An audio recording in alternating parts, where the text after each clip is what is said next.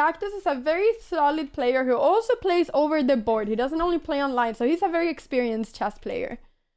Oh, Cactus, if you want to be on a mod on my channel as well, you know, that place is still open for you. Just saying, uh, all you have to do, both as Gambit. Alright, I don't think that Cactus is gonna fall for that. He is a very, very, very non-corrupt mod. He cannot be bought in any way. Wait, is Nitish, is Nitish fairly good, yeah. wrong? It's, it's Nitish Thakur. Oh, look at him. Botez Gambit. There he goes. Mod. Mod. Pog. Cactus, no! Cactus messaging you instantly right now.